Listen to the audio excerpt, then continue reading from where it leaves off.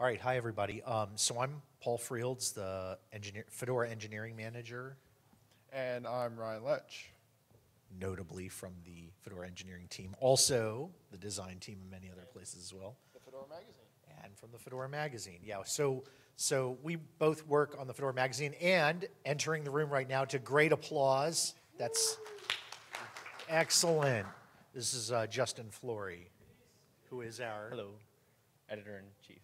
Editor in chief of the magazine. So yeah, I, I'm going to pass this over to you. But I, I thought for like maybe just for a minute we could describe um, for those who aren't familiar. Actually, is there anybody here who is not familiar with the Fedora magazine? Okay, not okay. Great. Okay, there's a couple people. So the Fedora magazine is essentially um, our way of producing news and outreach for the vast number of people out in the world who use Fedora on a regular basis. So it's not designed um, specifically for contributors. There is another magazine-like entity, the community blog. If you guys are familiar with that, there's communityblog.fedoraproject.org, and Justin also takes a, uh, a, a hand in, uh, in running that as well. Um, both of these are WordPress instances with some custom styling to make them look very dazzling to the eye. And uh, we use these magazines to reach different audiences. The community blog reaches internally to more Fedora contributors.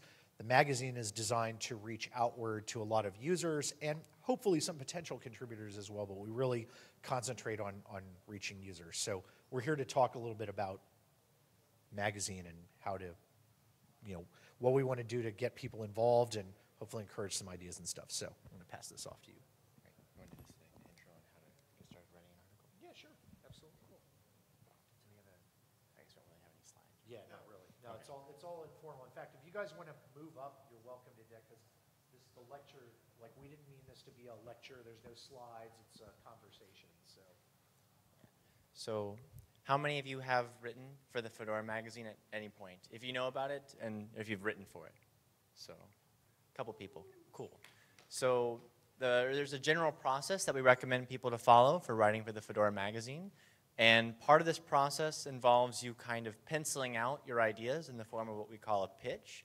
And that's to the benefit of us, of having a conversation between you, the writer, and us, the editor team, to kind of have a, uh, think about the, the topic you're writing for and have a conversation if it'll be a good fit for the Fedora magazine. So that way, if it doesn't, if it's something that might need more feedback or, uh, or it needs feedback or, or something to talk about before you get started writing it, um, we can do that before you put in two hours or three hours of your time writing a really cool article that might not just be a good fit for the Fedora magazine audience. So the benefit of the pitch is that it helps you also outline your ideas. Is what our recommendation is is to write like a two to three sentence summary for what your article will be about, what the, the point of it is, what you're trying to, to do to teach people, and then to have like a, like a bullet point list like intro, and then like a couple points of like the body of what you're trying to cover, and then just to kind of like have a, an idea of what you're trying to, to pencil out and write. Um, so once you do that, the next step would be to reach out on our mailing list or, or an IRC to let us know that you have the pitch ready and that you'd like someone to check it out. Um, and we meet Thursdays at 5 p.m. U.S. Eastern. Um, I can't remember the UTC time. Um, yeah, 2100 UTC. Um, but if you can't,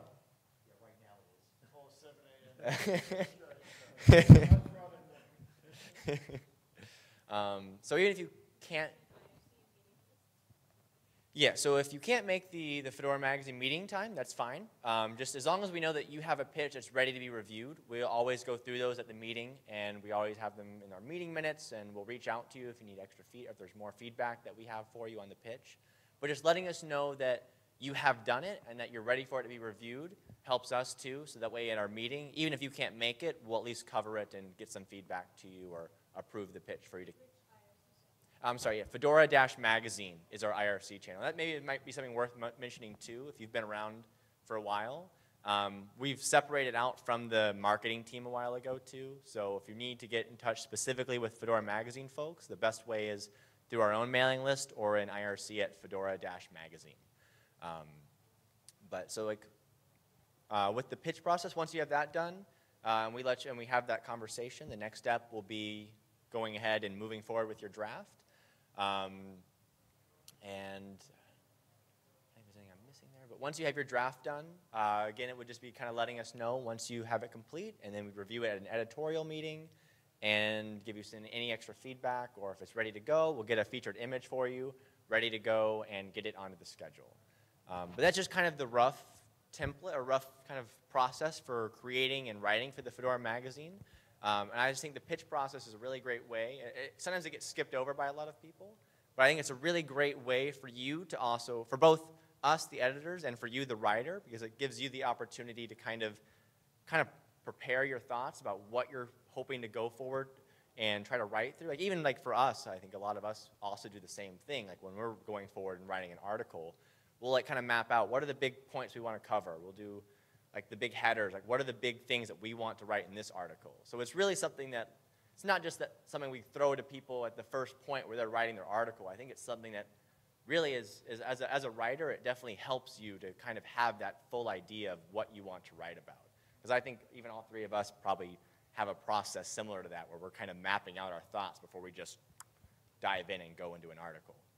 Um, did I miss anything there? No, I think, do we want to talk about some of the, maybe some of the pluses and minus, like plus one, minus one type ideas for what we've seen in pitches that might help, um, maybe First, be, completing the process. Uh, Review the, you said we need to do the draft uh, first. Uh, Or the, the pitch? First the pitch and then when it is approved, then draft and then get it reviewed with the editorial meeting, uh, right? Yeah. After that, uh, what, what goes next? So once you submit, once you've written your draft and you've let us know that you're ready for it, like it's ready to be published, I'm done writing it. Um, we'd review it at the magazine meeting. If it looks good, then we'll go ahead and start getting it prepped and ready. We'll get the featured image done and get it onto the schedule. Um, if we have feedback for you, we'll reach out to you. If you aren't in the meeting or if it's at a bad time, we'll just reach out to you uh, via email instead and, and kind of get that feedback to you. Um, Yeah, so typically at a magazine meeting, we'll, we will go through most of the drafts and pending reviews first and get schedule ready for the week. We aim for um, typically three is our sort of baseline. Oh, sorry. Yeah. So, yeah, so three posts is kind of our baseline for the week. Um, Monday, Monday, Wednesday, and Friday. Sorry, time zones. But yeah, yeah. um, yeah, so Mon- Monday, Wednesday, and Friday, we typically try to post at about um, at 8, 0800 UTC, which is, um, A time. Yeah. I, know, I know it is about uh, 4 p.m.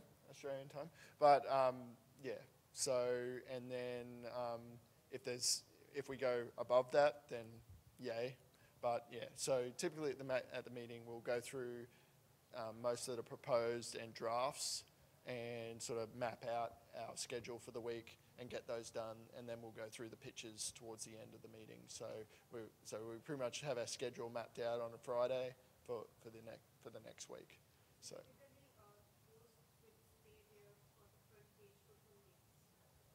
um, yeah, give or take. So with Well, so, so actually, um, you know, thanks to the way the, the page is designed, um, I think we have something like either nine or 12 articles that sit on the actual front page at any one time. So if you write something, it will usually be on the front page for, you know, three, three weeks, maybe more, right? Um, I, I, and the only exception to the way we do that is when we have something really, uh, really important, something critical like the release announcement, right? Fedora 26 was released. We'll pin that post at the very first position, and it'll stay there usually for two to three weeks. But that doesn't push everything off. It just simply means that any other articles we publish will be, they'll start at position number two. But because it's a grid view, um, people will see articles for a number of weeks. So if you if you have put work into you know going through you know you've pitched the article, you've drafted it, you had it reviewed, and it's gone up, um, it, it won't fall off like four days later or something like that. It will it will be on the front page for quite a while. Um, something else that we do, I mean, this is kind of behind the scenes, maybe more. I don't know how, how much people care about the process, but we use some plugins um, in the magazine that allow us to optimize for search engines Um, and it really has helped us over the last couple years promote our content um, to where search engines like Google or, or uh, uh, Yahoo or whatever, um, DuckDuckGo, if people use that, are, you know, they, those engines now are, are bringing that content further up in searches. Like, for instance, we were, we were talking today about one of our articles um, about i3, right? The i3 window manager.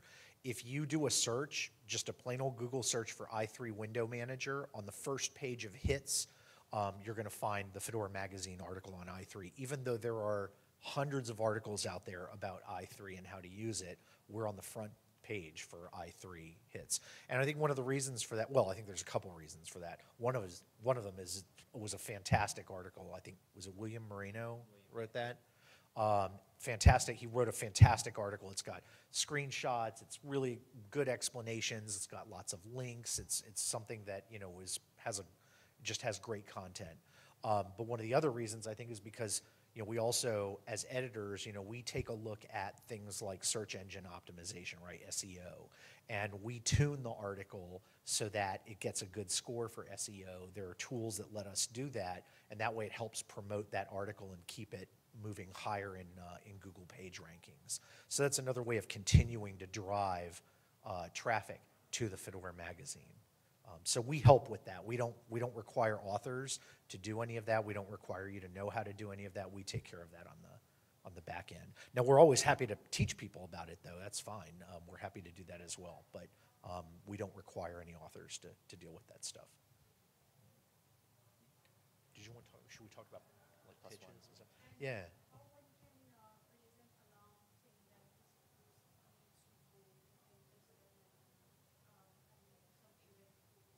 So, well, so, so the question was about critical posts. How do we, how do we, if, if there's a post that needs to go out with a deadline? Well, you know, of course, we prefer that you let us know, you know, a few weeks ahead of time, right? So that we can actually work it into our schedule. Um, uh, y- we can do that in a number of ways. You can do it, uh, uh, you know, again, notifying us via IRC, Pound Fedora Magazine, um, on the mailing list, which is magazine at lists.fpo. Um, it- uh, you know, you can always feel free to get in, get in touch with us on either of those places.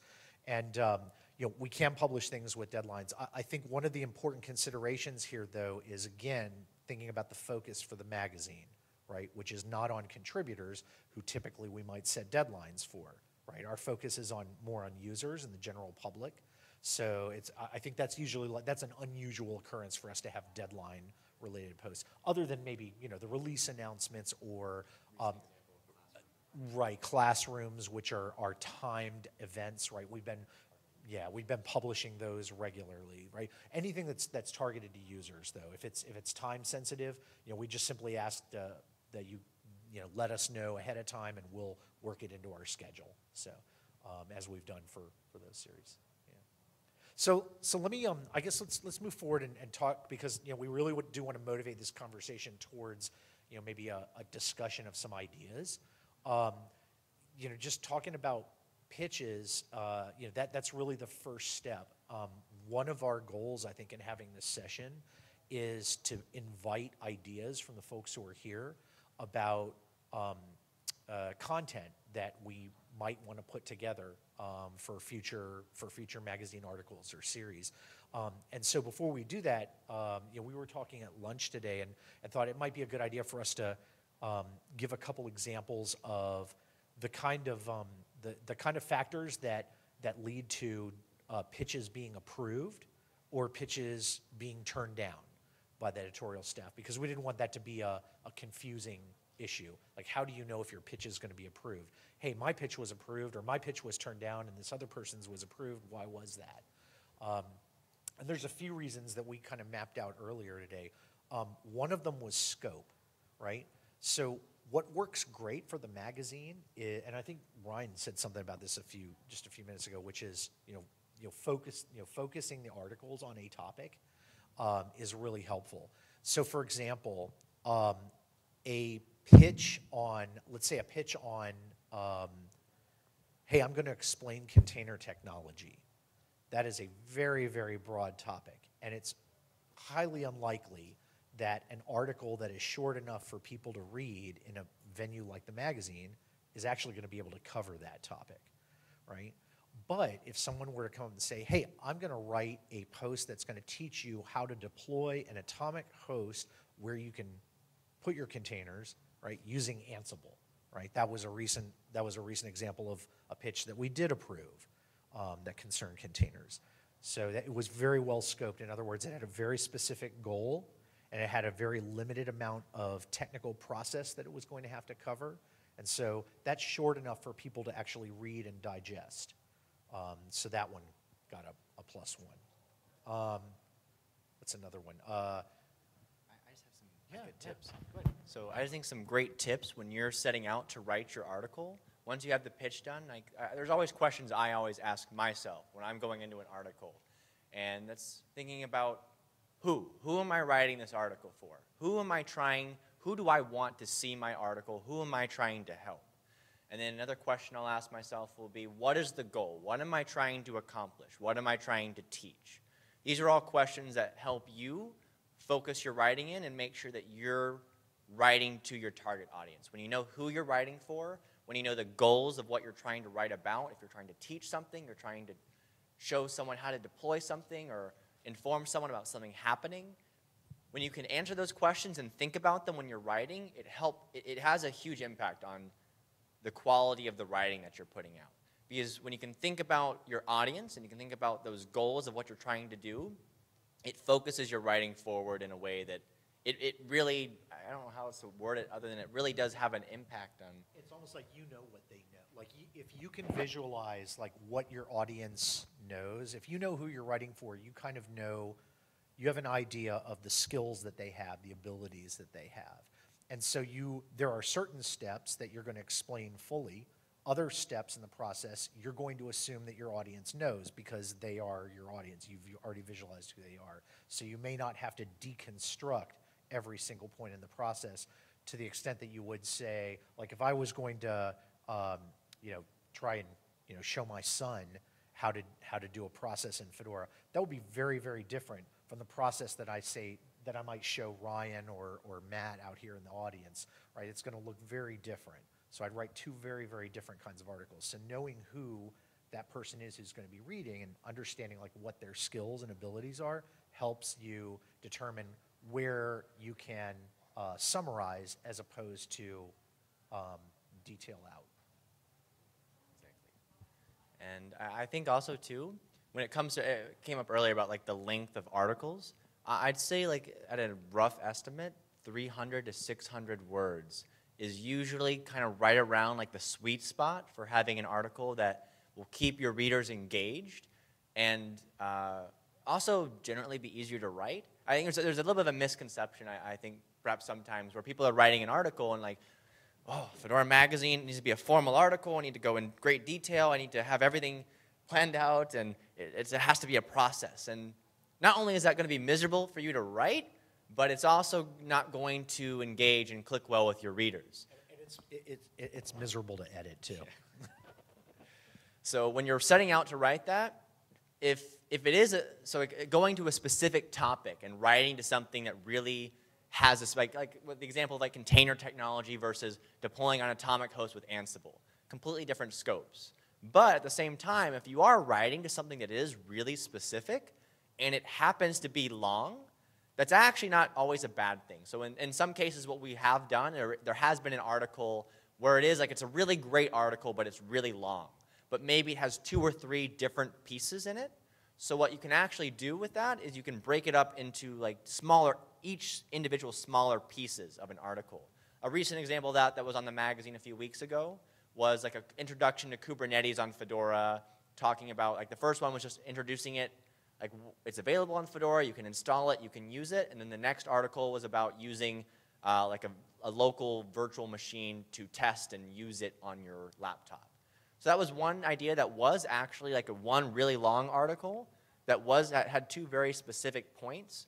But in this case, we broke it up into smaller pieces that were easier to read, and we had to end up having more content. We were able to spread that out over a longer amount of time, and it engaged a little bit easier with the readers because it was just less content to eat or digest all at once.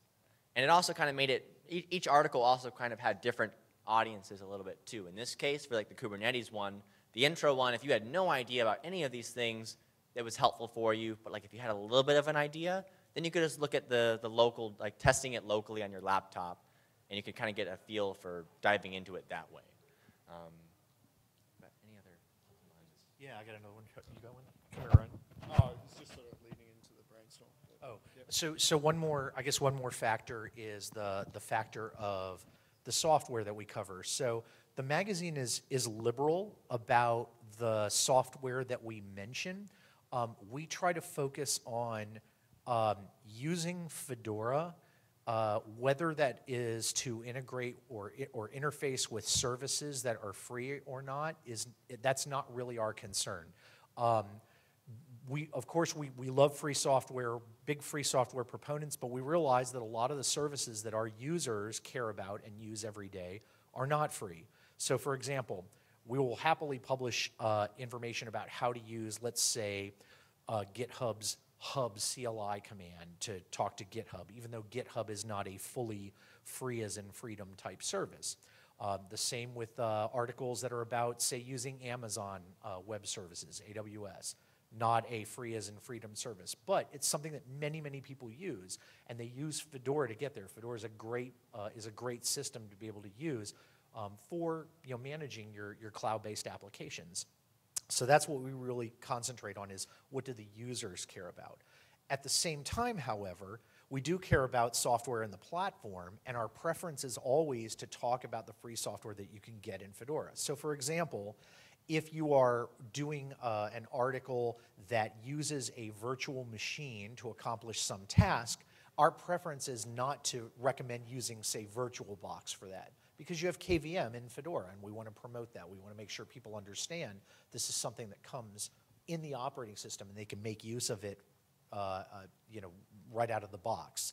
Um, so I, I think you know just so describing that are you know that's how we we look at uh, the freedom aspect. If so, if people are coming to us with a pitch for an article, um, that's one of the things that we'll look at. We we uh, we will not turn down a pitch based on whether or not it interfaces with a non-free service, but we will look at the the way that the process is working. Um, uh, technically. In other words, what is the author describing? And is there a way to do what they're talking about with software that comes straight out of the box in Fedora that you can install from the official repositories?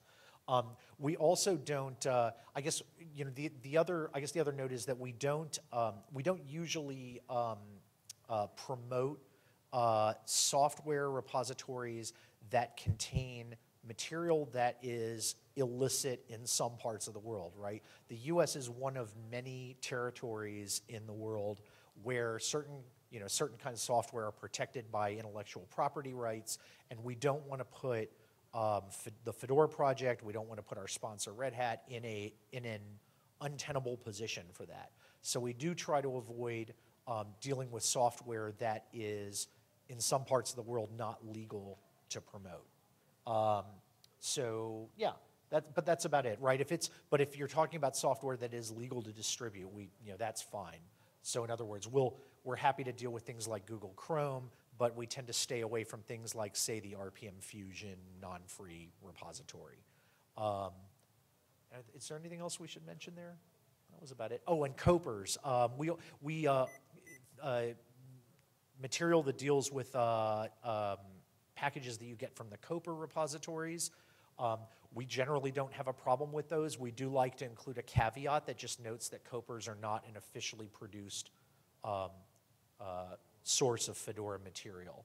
Um, and that way people understand that what they're getting is, you know, caveat emptor, as they say.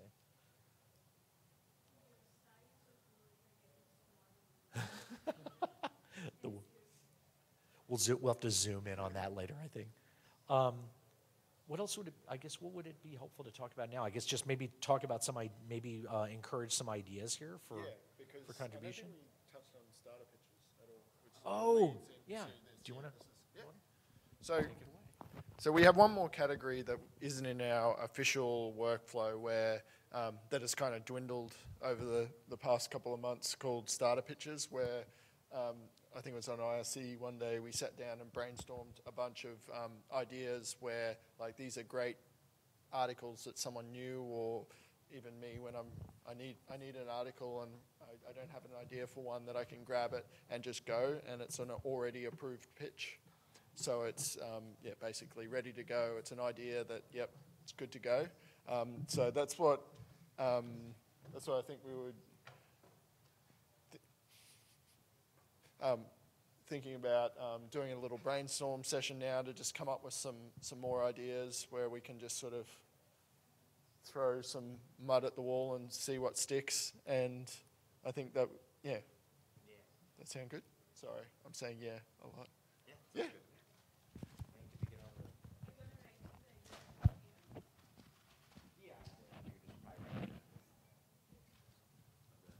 Is there anything else for uh, key tips that I missed on the sheet, just to, as a reference?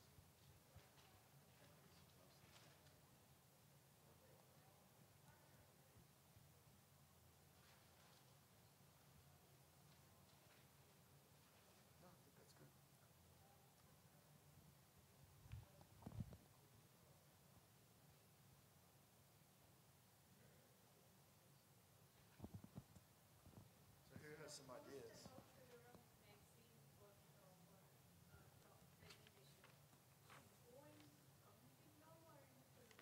Sorry. So the blog post about this session should go to the Fedora magazine or in the community? That's a good question. Probably. So, So if the article was about how to contribute and write for the Fedora magazine, that would actually, from the information that you just learned in this workshop, that'd be fantastic for the Fedora magazine. But if it's more about this session and kind of the people who are talking about or talking here and kind of the what kind of topics we were covered, that would be more. I mean, you think about it. Who, who are you writing for? If you're writing for people who are Fedora contributors who are interested in Flock, your audience would be Fedora contributors. So you go to the community blog. But if you're writing for people who know cool things and would be ready to write an article, your audience would be a kind of a broader group of people. So it'd be for the Fedora magazine, which is why I think like the questions that you can you can answer that question to your, for yourself even without asking. So there can be two versions of this talk, uh, this blog Yeah, exactly. one for the community and one for. It all depends. Who's your audience and what's your purpose? What are you trying to do? Are you trying to inform someone about how to write for the Fedora magazine? Or are you trying to inform someone about what was being covered here? So as, as the first part of the, of this session was to how, what is the process and how to get it approved, so and everything around that. So it should be in the community blog post because as contributor gonna write and follow this process. See, that is where the line sort of, we, we sometimes straddle the line on the Fedora magazine, because especially for sort of entry level community, um, like where we actually want more people to come in. Yeah, so you can, yeah, that's where it's, it can get a slightly blurry, but then there's other, other posts where you're like, yep, that's definitely community blog. So I think there's been a few that we've, have gone through where it's sort of on the line, Line, but then yeah. it's like, you try to frame it as, hey, y- are you not, it's to the non-contributor becoming a contributor more than a current contributor, so, um, It depends how, how we. Right. yeah. The audience and the purpose. Yeah. That's But- and then- the same questions I asked. And then we also sort of try to limit the number of those posts because we know that the majority of our audience is, um, yeah, not really gonna gonna care that much. So um, they care more about tips about Fedora. So and then yeah, if we can, yeah,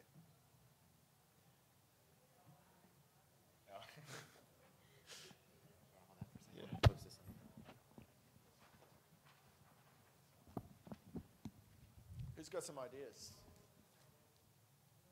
Especially, this would be really, this is something that'd be really great to have some of your thoughts too, because if you guys have ideas on things that you're working with or doing in Fedora, and you think it's something that you're comfortable writing about or teaching other people, that's definitely something that we'd love to have your input on, or anything that you think that you've been kind of like on the fence about, or if there's something that you just think that you could talk about.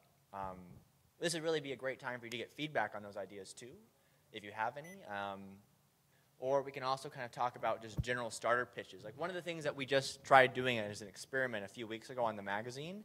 Um, I don't know if any of you read opensource.com, but you might see some of these articles like the top five terminal emulators on Linux, or the best. One of the ones that we just ran uh, not too long ago was like four fonts for or four monospace fonts that you can get on Fedora. Um, so kind of an interesting thing from opensource.com that we learned. Uh, these kind of articles, uh, we, we've kind of nicknamed them listicle articles. Yeah, actually, three ways to trick out your terminal emulator. That's a great example. Um, these kind of like listicle articles are actually, uh? Yeah, they actually have a really great uh, engagement with readers.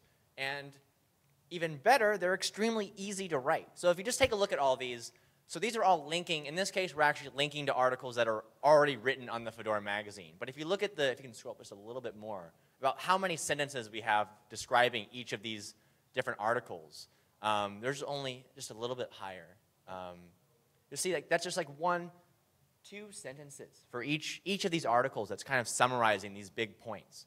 So to kind of turn that back about things that you could write about, if there's things that you're using in Fedora that's kind of like key for your workflow or things that you find that are really helpful, if you can kind of think of like, wow, like what are, like in this case, it was like, what I, I was just thinking, like, what are three things that I'm doing in my terminal all the time that I think are super great?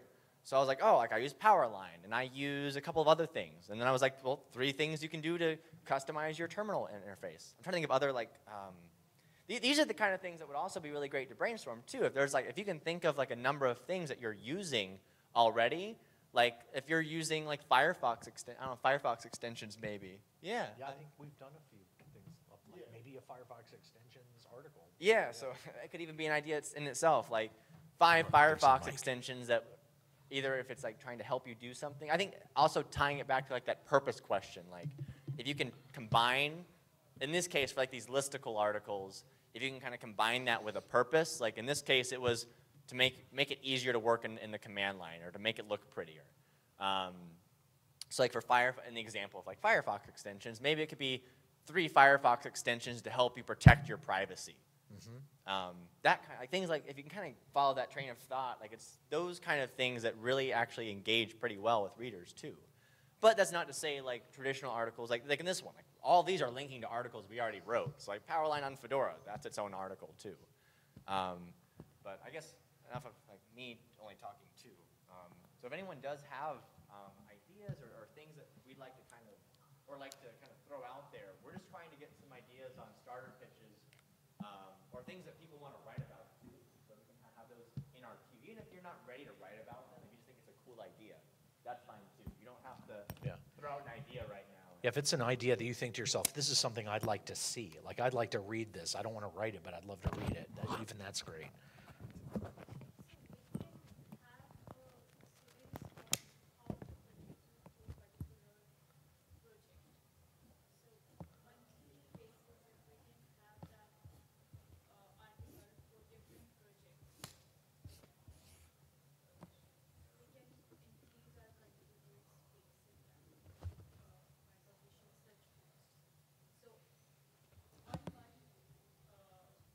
per month, we can publish about one project, how to contribute to this particular project, and what the link to the easy fixes or the open tasks.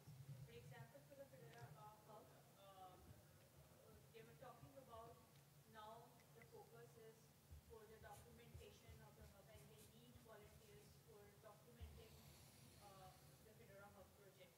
And they need volunteers to write the modules, I guess, uh, the widgets. So, uh, the, these requirements, uh, are changing every six months or every three months per project. What, what are the easy fixes and what can be, uh, done by the new user as well. So documentation is something which a new user can do it, but not everybody is aware about this is what is required by the Fedora Hubs right now. So we can write, uh, for, for a project per month, one project, how to contribute and what are, uh, the o- open spaces which can be filled by the new user and the new contributors. So just to repeat that back to make sure I understood it. The, the idea was writing like a, a regular column or series on how to get started contributing to Fedora on the magazine with linking to things like easy fixes or ways that like really easy onboarding paths for people to get involved. which is currently required by the project. Okay. So, And so one way to like one way to approach that might be, sorry, I don't mean to be like taking a over, an overroll here. I'm just, I happen to be like near the projector. Um, So one way to think about that might be like, you know, if we had a template for that kind of article where you describe, you know, it, you could again, keep it short and focused. You could describe, what is that project trying to do? Like, what is the goal of that, of that particular initiative? Um, What are they having trouble with, right? Here's, in order to help, you need to have the following skills. If you do, here's who you contact, or here's how you get in contact with that initiative, right? And, you know, something like that, I think could be, again, keep, you know, keeping that short within that 300 to 600 word range, I think that would be pretty easy to do. And the scale of, you know, one of those every month or so, I think is, that's probably within the, you know, within the scope of, of, uh, of the magazine, right? Um, Right, and, and maintains enough of the focus. Yeah, and then I, I would probably, if I was to do that, I'd, if you're focusing on one project, I'd probably do a companion article on the community blog that actually does the detail of what, like, uh, like steps out some more detailed steps, and then more using the Fedora magazine is just the, the hook into the, the community blog. So the majority of the detail and the process and all the, the stuff that could be boring to someone that just uses Fedora and may not contribute, then we, over on the community blog, but then we have the hook on the magazine, which then we promote on the socials, and then, so you, you may get one person that goes, hey, I can help there, and then jumps over the community blog, reads how to do it, follows the process, and then goes through. So, um, yeah, I think the, one of the main ideas with what, why the split happened was because the, that kind of detailed community process stuff, election interviews, like there was, that was sort of drowning out everything else and the actual value of the magazine of providing useful information to users mm-hmm. was drowned out by lots and lots of community stuff that ninety percent of people reading the magazine didn't really care about at this point, so that having, yeah, that hook in to, so they can go to the community blog and sort of get the, the, the more hardy how-to, I reckon would be a, a good, Yeah, does that make sense? ab- absolutely, absolutely. really like the idea of having the format because that will save a lot of time of, uh, you know, uh, getting review comments and fixing it because when we have a skeleton reading, we just need to fill in the blanks, right? That If we have the subtitles, so we just need to fill in that information. So we can, ha- uh, we can include important links also in those, uh, you know, subtitles or sub, sub, uh, wha- whatever. Uh, Like the link to the project or, uh, the meeting when it is happening, the IRC channel, mailing list, and the contact details. So that the person who is interested in to fill that gap or to interested in putting the efforts in that particular, to that particular project, can contact that person Right. and get in touch with them. Right, and we can, yeah, and we can work with, you know, we can work with, uh, you know, any teams that are doing, like if you're doing this through uh, the CommOps team, for example, you know, we can work with you guys on, um, on uh, fleshing out that template, right? So that we know it will score well um, in search engines and get readership, right? Because one of the, uh, you know, one of the pitfalls for having a template is that if the template is too simple, um, it, and it starts to appear like, say, a, a, a, a course description, right, where you have a heading and a colon and then a very short description or something like that. Um, those types of articles, because they, they don't look like prose anymore, they don't look like uh, a long written form, they start to resemble computer-generated output forms. Search engines push that away, right? So what we don't want to do is have the template be so simple that you're simply filling in forms like an, like one line per entry, because that results in an article that no one will read and search engines will push down, right? So, but again, you know, I think the, our team, what our team can do is kind of help uh, give the article the right, the right type of expansion so the template looks good. And I think, you know, again, the classroom, I think the classroom articles are a good example of this, with, you know, maybe the exception of the title, because I think we all kind of realized as we were doing this, and maybe, um, Justin, I think maybe you were the person who pointed this out, that the titles in the classroom, simply calling it, you know, classroom session number one, two, or three, like, didn't really catch your eye very well, right? So that was something that we kind of, you know, realized as we baked it, hey, we need to maybe improve our recipe here a little bit. So, yeah, so we can kind of take what we've learned and, and help improve that, that template. Um, so, so we should, so let's, I, I'd let- are there other ideas for, for articles? We've got a couple more people in here, but I'm not sure whether they're, they're into brainstorming with us, but we'd love to. very specifically, I'd like to do one on creating a scratch zero time source. I don't know how Oh. technical or how efficient I guess. I just know that one of the articles that grabbed me into Fedora magazine was Major Hayden's build a router on Fedora. So I, I know that that attracted me. I'd like to do something similar So one of the, one of the things that sort of, it's mainly just a, um, an artifact of who the current writers of the magazine are is we don't really shy away from technical stuff or non, non-workstation stuff. It's just. Yeah, we love technical what- stuff. That's what a lot of us know, that's what we write about. So, um, yeah, it's, technical is great and we want more of it, but we just, I, like, that, I don't understand what that is, so I really want to read it. So that, and so for me, like, if, if it's in Fedora and we can do it, then for me, that's something, yeah, would be, that, that's got my plus one, even though I don't really know what it is yet. Well, half of one, because I don't know what it is. But, um, yeah, so technical is good, and as long as it's sort of Fedora related and is useful to a Fedora user, that user may not be the, the user interaction designer like I am that uses Inkscape, because that's what I sort of, yeah, that's what I write about, that's what I Yeah. write. So, yeah, Yeah, your audience might be like hardcore sysadmins who are using Fedora or a downstream distribution based on Fedora, like CentOS or RHEL, um, or might, you know, might be like that, you know, developer who's writing, you know, Node.js stuff. Like, here are some cool plugins for Node.js editing that you can use on your Fedora station. Yeah. have you got any more? That was a great one. Sorry? Hawkular. How, how do you spell that? Oh, sorry. That's probably not it. Don't, this is a lesson to Paul, don't type in blind searches unless you know what's gonna come up. That could have been worse.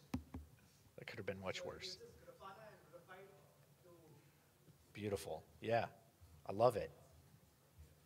Yeah, so, so a post that, so one thing that might be, um, that we might want to think about, so let's, let's, let's like live debug this as a pitch. Hawkular seems like it's pretty flexible and pretty wide ranging, so you might want to think about how are you going to fit that all of Hawkular into 300 to 600 words? Um, maybe, yeah, maybe this is how do you get it and install it? Is it packaged for Fedora already? Can you install it that way? Well, maybe that makes that part short. If you can't, you have to, you know, grab it from upstream and compile it, then the actual grabbing, compiling, and installing of it is in itself an, an article. You know, not even counting how you actually use it. The other thing to think about is how good are the docs for Hawkular itself on how to use it? Do we want to replicate those in Fedora? Probably not. But there might be a specific use case that you want to illuminate out of the docs. Like here is a here's a specific way to apply Hawkular, right? Um, go back and read the first article on how to install it in Fedora, and then once you've done that, here's how you could use it to do the following, you know, really cool solution. That you know. So I, I like it. I would definitely like like right away. I would think like, how about how about installing installing Hawkular? Just bringing it up so it works in a machine. Like even that alone would be a great starter pitch.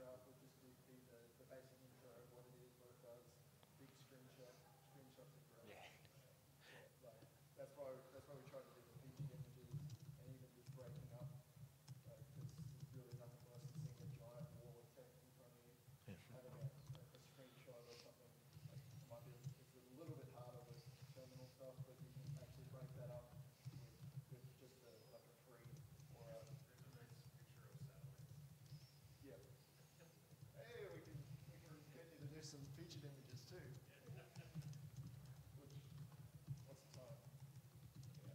It's 4.56 right now. Um,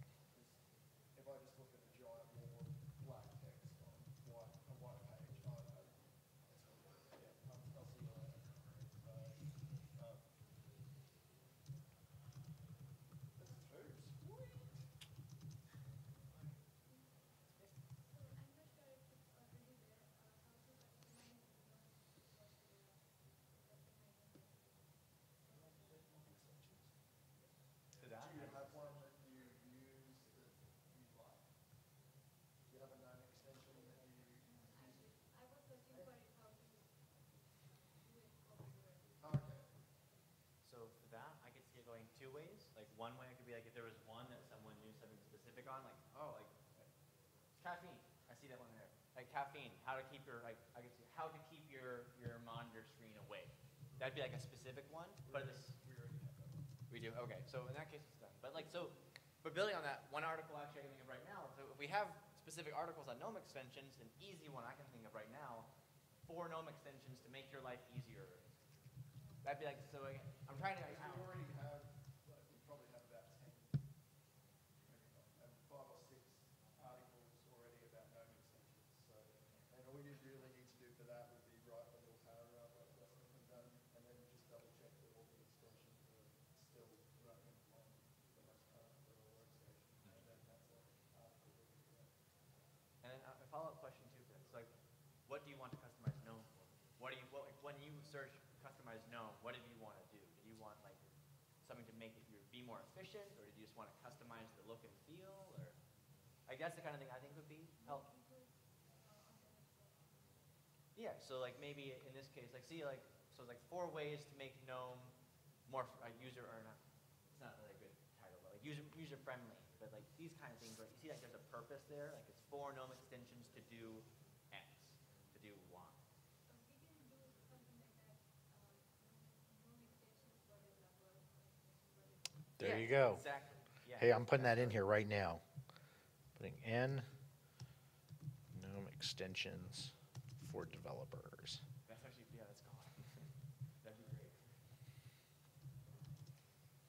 This is a much better idea than a giant post-it note. I'm just putting them in.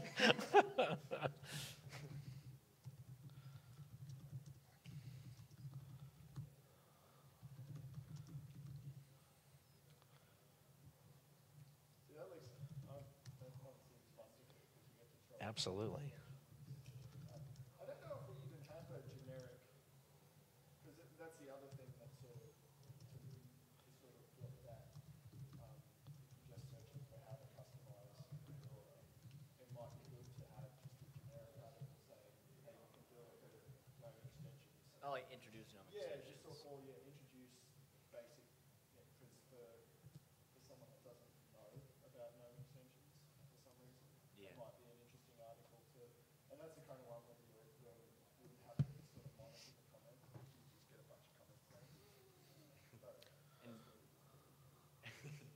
but, and to add on that, that'd be a really great like a long shelf life article too. yeah, Um, so this is another kind of thing that I think is important, or something that's nice to think about for articles. Um, there's articles like, so in this case, like, what are introduction to GNOME extensions? In awesome extensions for GNOME for developers, or GNOME extensions for developers. Those are ones that generally have like a longer shelf life. Actually, I'm looking at a lot of these, like, they're generally, so long as the project remains active, like for Hawkular, and then some of these, like, they have a longer shelf life. The spin, that's an article that'd be more like a short term, kind of, uh, has a, it has a shorter shelf life on it. So how you write content for something like the LXQT spin, that you could obviously, you could make references to things that are happening now in Fedora, like Fedora 26 just released not too long ago, and now there's a new LXQT spin. Like you can use language and you can make references to things that are more dated, Yeah. like have a have a deadline.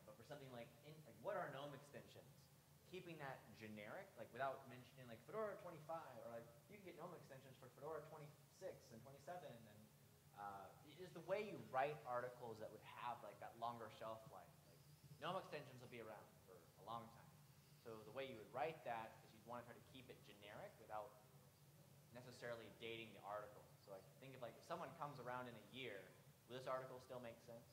Two year, I guess it's for GNOME extensions. Two years, will this article still probably make sense? Like for an introduction, that would probably be a pretty helpful one. Um, just because those articles also end up getting, go to Google, GNOME extensions, what are introduction to GNOME extensions? Like that's the kind of articles that will, they'll pop up there. Um, and that also was better, like, those are really great articles too. They're really great articles because they last for so long. Like the LXQT article example, that'd be really, that'd be really cool for like two weeks and then, so, okay, we have an LXQT spin. Sweet. It loses that, that valuable, like, really cool factor right when it comes out. Yeah. But like a GNOME introduction, GNOME extensions, that's cool for, as long as it's Yeah. current, it's cool forever.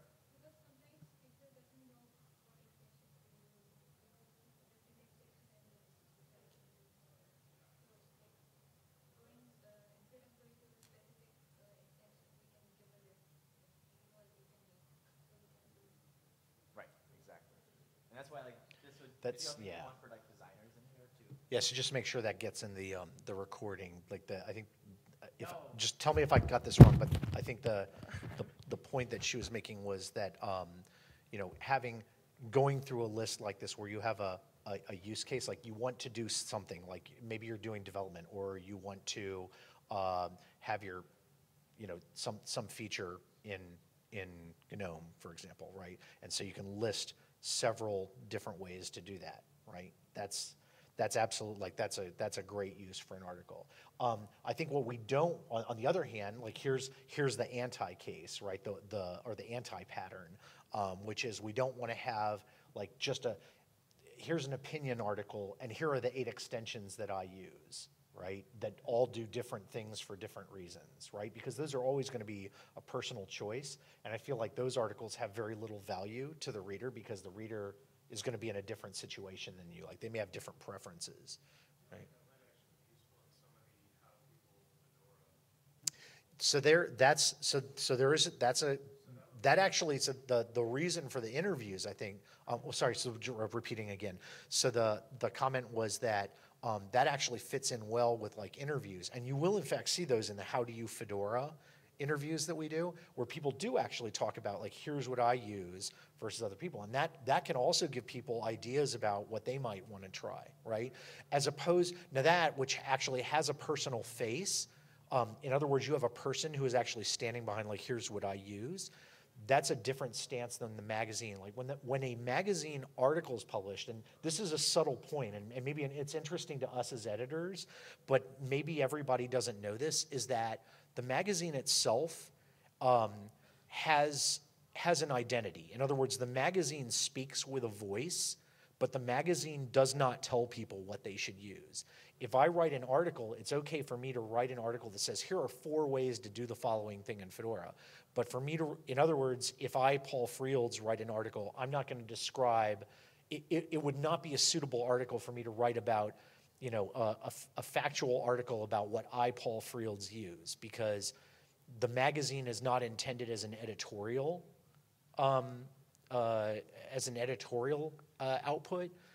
So yeah, it's not a soapbox, right? The, the magazine doesn't speak with my voice. The magazine is a is a uh, I guess like an independent sort of objective view of the kind of things that Fedora wants to let people know, and dictating to people what extensions are good and which aren't is really not our our the way we go, right? But we will tell them here's like three extensions you can use to do this, and you might like them, but we don't tell them use these extensions, right?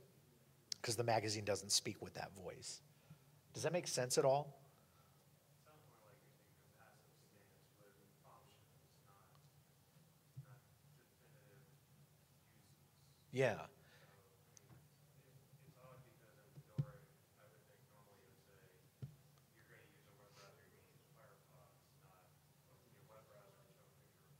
Mm-hmm. Yeah.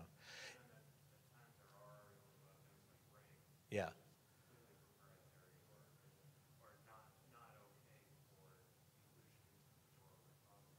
or Right, right. So we'll, you know, we will talk sometimes about, yeah, and I think, when- I tried to touch on this before, so that was, that was kind of a long comment. I'm gonna see if I can encapsulate some of that, which is that, um, you know, there are, there are times that we will, um, print articles that are about software that maybe Fedora doesn't itself, you know, become like the, the first proponent of, but we cover because it's available for Fedora, and the fact that it's available for Fedora is a big deal. Um, and maybe a good example of this is uh, Netflix on Chrome, right? That's a, that's from a few years back, but you know, we we know for a fact that out of all Fedora users worldwide, something like 50% of them install Google Chrome right? It's one of the first things they do is maybe they, they are used to using it on other platforms, whatever. Instead of using Firefox, they install Google Chrome. That's a personal choice, and we don't get in the way of that.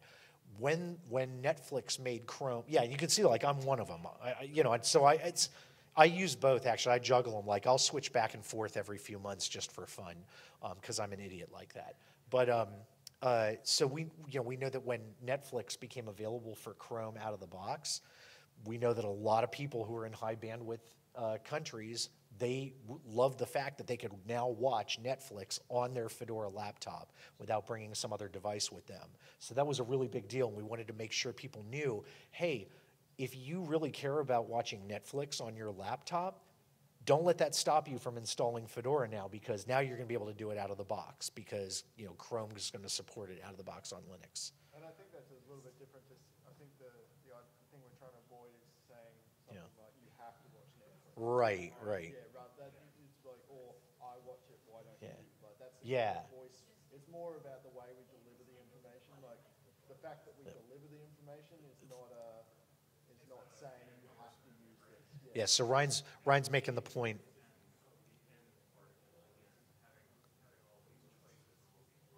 Yeah, yes.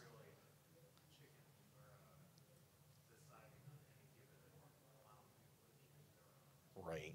Yeah, so, so to sum up, so Ryan was making the point that, um, you know, the reason some, an article like that is okay with the magazine's voice is that we're not dictating to people that either, that, either that they should have to use Chrome or that they should have, you know, they should, everybody should go out and watch Netflix. You know, we're, we're not, we're simply not judging. We're, we're noting that, you know, we know from, you know, just from the metrics that are out there, we know that people, that there are people who use this stuff and, and like it. And we don't want that to stop them from using Fedora, right? In other words, I won't, I can't use Fedora because this is something that I like to do with my laptop and I haven't been able to do it. Well, the fact that they now can is an inducement for them to stop avoiding Fedora, so that's great. At the same time, though, you know, the, the, the point for us is to preserve choice, right? We're not telling people that they ought to use this rather than that, right?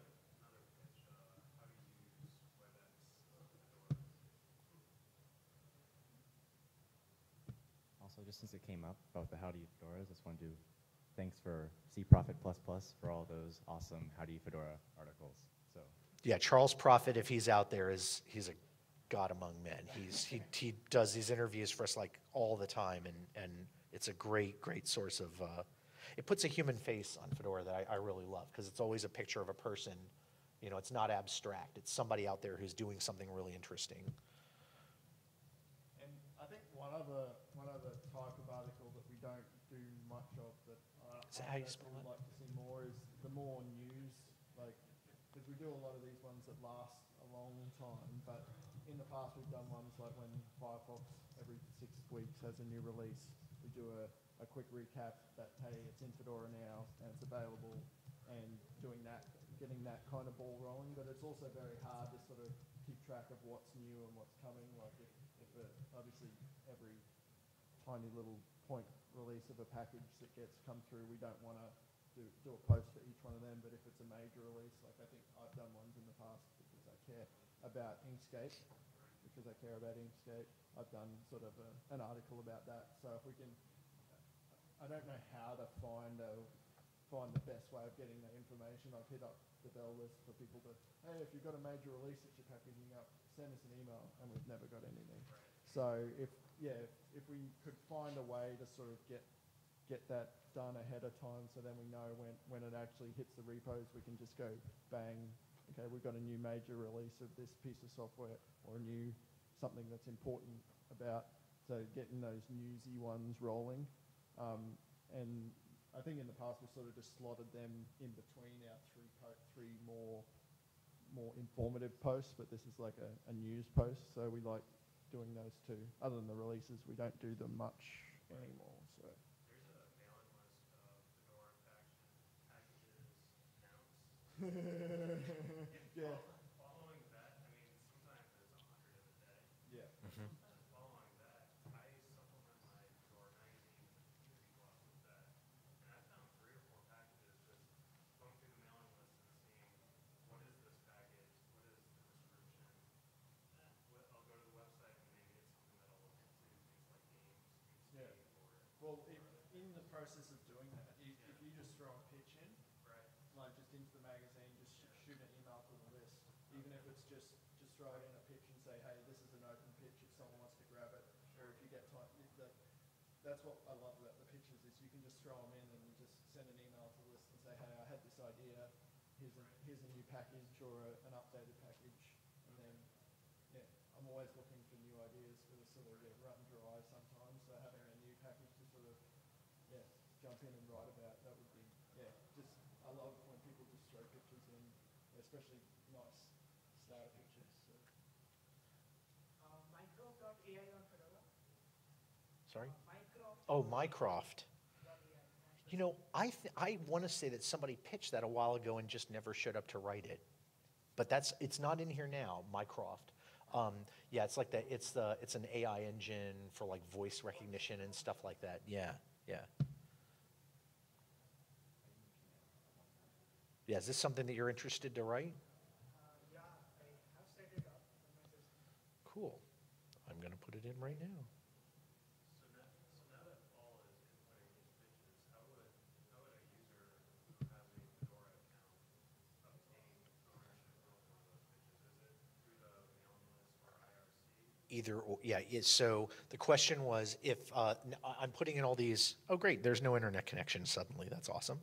Um, So the question was, uh, so I'm putting all these pitches in, um, in, in hopefully a helpful way, and how would somebody then claim one of these? Because should they get in touch with us through the IRC, through IRC or through mailing list? The answer is yes, any of those, any of those will work. And what we'll do is, um, those of us who have the, the admin or editorial access, we can reassign um, posts, and so we'll just flip it over to your Fedora account, and that basically gives you the, all the access that you need to continue drafting, et cetera, et cetera. We actually have pretty good coverage, surprisingly, in the, in the, in the IRC channel, and the mailing list is low, uh, I don't know if you're on the mailing list, but, uh, it's relatively low traffic, but quite responsive, so. Uh, womp womp, the internet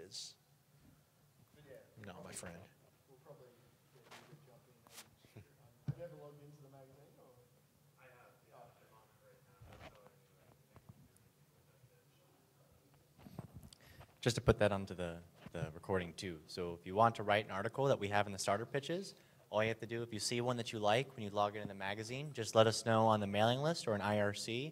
We'd love to see you. When you say hello, we will give you an answer. Uh, so just if you do see an article that you want to write, just log into the magazine, check out what's there, and if you want to write, just let us know, and we can reassign the article to your Fedora account. So then you'll have the full rights to edit the article, to make changes, and you can do all that without without any limitations. But you just gotta just let us know if you see an article you want. Don't be afraid to be like, hey, I want to take a stab at this and give it a go. The internet's very slow in here. I blame that guy in the back. No, I'm just kidding. You're not downloading an ISO right now or something. No. there you go. Oh, I'm on. I'm on the other one right now. I switched just a minute ago. Yeah. So cool. We can actually touch on the, the, the stats. So for, so far this year, we're almost Oh, Mike on the mic. Yep. There you go. So last year we 2.4 million page views, and so far this year we're like we're about we're about 1.95 so far. Our goal was um, 3 million for the year, and uh, I'm still optimistic.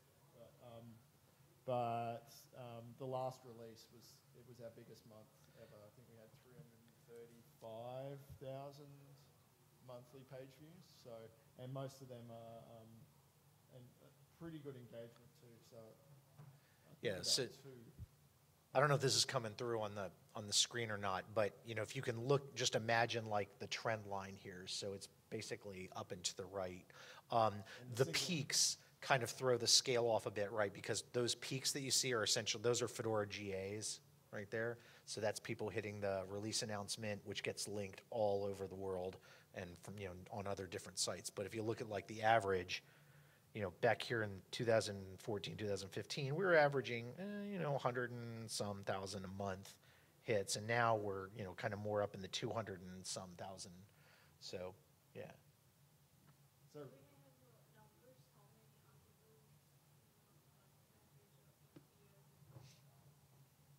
What was, the- I'm sorry, what was the question? Um, I think we average, like, we, we pretty much, the minimum three a week. Yeah. So, yeah, like, during the, like, the, Yeah, it'll be like 12 to 15 a month, basically. And we'd love that to be more. And the issue for us has been simply finding authors who are willing to, you know, come in with an idea and then, you know, commit to writing it and finish their article, right? I mean, it's basically, it, it's, it's no different than any other problem in open source, right? Which is people who are willing not only to come with an idea, but the commitment to do it. The nice thing about the magazine is you don't need a lot of special skills to finish your commitment. Whereas, you know, fixing a bug can often go way beyond a, a new user's ability to deal with, right? Even what we might call an easy fix bug can often get really, really complicated. But the great thing about an article is that if you can write text, you can write an article. It doesn't really scale beyond a user's skills or abilities. So, you know, I think there's there's probably other I don't know maybe there are other there may be other like social barriers or things that are you know maybe we have yet to uncover, but I think the the key for us is expanding our pipeline of users, right? Ex- expand I'm sorry, expanding our pipeline of contributors to the magazine, right? If we had, let's say for example, we had um, ten people uh, who were willing to write one article a month, right? That's again only 300 to 600 words a month. Um, most of us write single emails that are longer than that. Well, a lot of us do. I know I do, um, much to the chagrin of the people who have to read them. Um, but uh, you know, that's that's not a whole lot of writing. Only you know to do only one a month. But if those 10 people were writing once a month, our output on the magazine would probably go up by 50 to 100 percent, right? And out of those articles, every article is almost guaranteed to have tens of thousands of people who look at it, right? Or tens of thousands of page views, right? Uh, this this graph would take off like in a crazy way if that happened. So yeah, our, our you know maybe our one of our unstated goals is to find like those ten people essentially, and then kind of school them in how to how to come in with greater and greater ideas.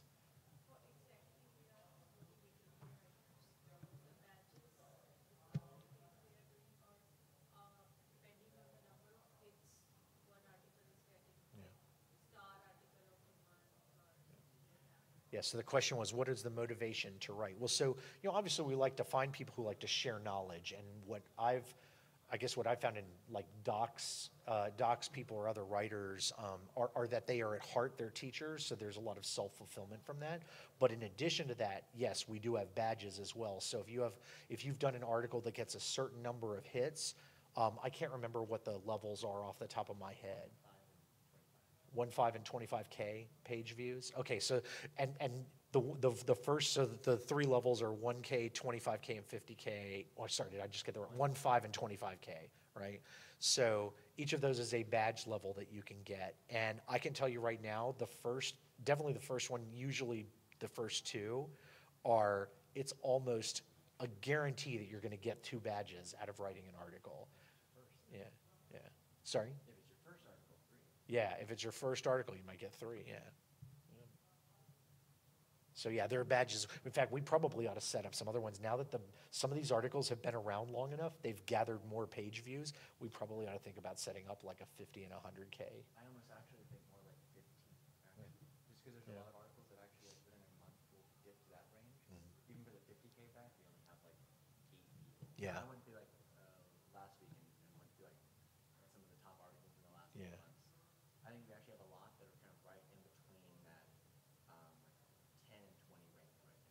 So that's a great place to kind of make sure that you have a level like, And that's just from the last eight months. Yeah. I should clarify to you. That's just like the last eight months. Yeah. That have popped up. It's they're right between 10 and 20 kVs. yeah.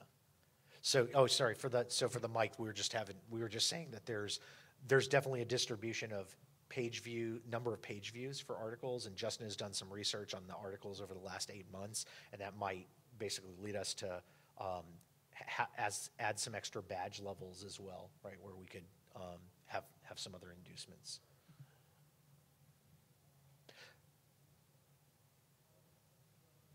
Neat.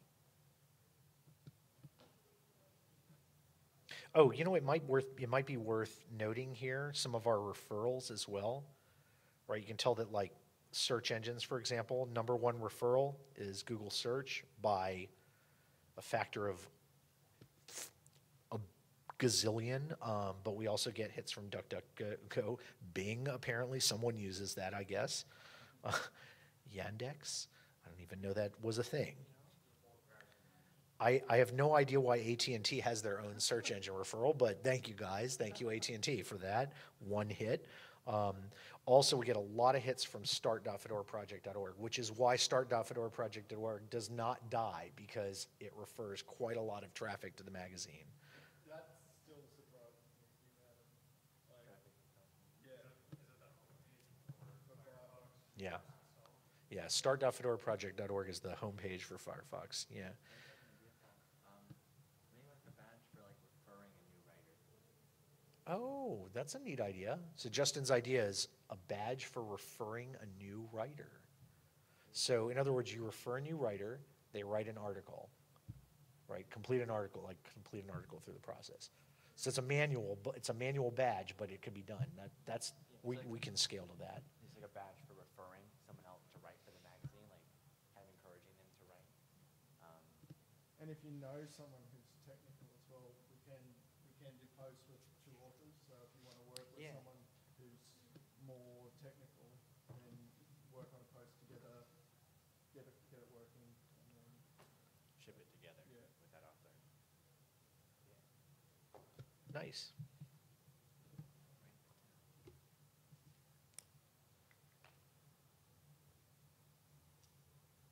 I'm nearly almost up to seven, seven million all time. Yeah, we're getting close to 7 million all-time views. That's not bad, considering like, you know, With a lot. because the, you know, the last, how, how long, like three years maybe has been our, our big, our biggest, our bigger push Yeah, for so it? we've got two point four and nearly two, so Yeah. four, four and a half of that. in Yeah. The last year and a half. Yeah. It's looking good. Mag, I always like to see that. Up and to the right is always good. And the, the next release this year will help. Yeah, yeah. We expect the Fedora 27 release is gonna is gonna pop way up above the above the standard month. And even August this year, Right. that's the best non-release month we've ever had. Yeah. So I don't know if you guys can read that. So what Ryan's saying. So that's 261,000 page views in August. We've got a what a couple days. What one day, two days left in August. So August is out of non-release months. August is our best month ever, right? And that's been a great sign, right? As if we can go through month by month more often than not in the past year or year and a half that we've been looking at it, each month has become like, oh, this is our best non-release month ever. Oh, again, this month is our best non-release month ever, right? That's a good sign because it shows the the page views are going up. Yeah, uh, that the question was, is Chromium an EPEL? I have no idea. Probably, yeah. I, that- that'd be a good question for Spot, maybe. If you find out, let us know. Is Chromium an EPEL? If it is, what we could do with that, we could just go back and revise our existing Chromium one and republish it, I think. That might be a good way. Because we did actually publish, I don't know if you saw that one. A couple, a couple, I think a month ago, we published one, like how to install Chromium on Fedora. Oh, so, well, actually, so I think the point was is that if, because uh, Spot packages Chromium, set the homepage for Chromium to the same start.fedoraproject.org, and we're, all of those EPEL users out there who might be using the packaged Chromium suddenly are gonna actually be seeing the magazine feed. Newsy style article, if that, Yeah. if that's not happened yet, or if it's something that's a work in progress, yeah, actually, no, that would be awesome. Yeah. Um, I, I did have some, like, two more pictures you could throw in. Um, I was thinking like And how Mike- to use Thunderbird. Yeah, Oh. just more pages you could throw in right now, to, um, how to, how to use Thunderbird mail filters, and then, uh, in Thunderbird extensions to improve your privacy or to, or to protect your privacy. Just trying to think like, I'm just trying to think now of like all these things that I'm using on Fedora, like I'm going through all of my apps on Fedora, like what, what am I, what am I, what am I doing on, on Fedora? What, what am I, what are things I'm using? yeah. You've done it. You've done one, haven't you? Yeah. Wait, I got 2015. Chromium is an EPEL. It is.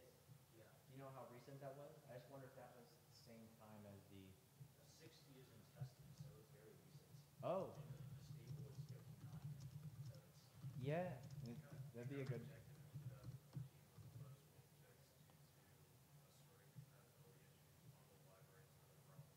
Yeah, This that, was something that would that- have been the same issue that was stopping it in Fedora. but now it's in Fedora. actively maintained in other applications. That was, that was your pitch, right? Did I get that right, Justin? I think they call it add-ons. Oh, add-ons, um, okay. But just a small detail. And having Thunderbird read messages so that it was Oh. Yeah, that would actually be a super that- one. Does that extension still work? I don't know. Oh, I is it an extension? Thunderbird because it doesn't work. Wait, wait, so wait, you mean like how to? There was a Gmail conversation view for Thunderbird that I used to use, and it sort of stopped working, and then I. So then you could have thread messages and then the most recent message would be at the bottom. Oh, okay, that I know. All right, so we're getting on the time that, um, that, um, that five thirty WSL is coming up, so I need to run, out. if I'm gonna cover that, then I need to Yeah, pop this out. I'm, I'm really happy. Yeah. Yeah. Anybody have some last pitches they'd like to throw out before we, we wrap up? Any last minute ideas? Kernel oh, benchmarking in Fedora. Kernel benchmark, kernel benchmarking. Contest that we have, or like- Uh, no, there's a benchmarking suite which you can, like, you can use five, six views in combination to benchmark Fedora kernels across uh, architectures. So we can go for ARM architecture, we can go for x86 64. Wait, so is this a, is this a proposal to do kernel benchmarking work, or is this a, is this something that would be uh, a, a, a process that like some, any kernel developer or any kernel interested person might do because it's, it has value to them? Kernel interested person might do. I'm sorry? Any kernel interested person might do.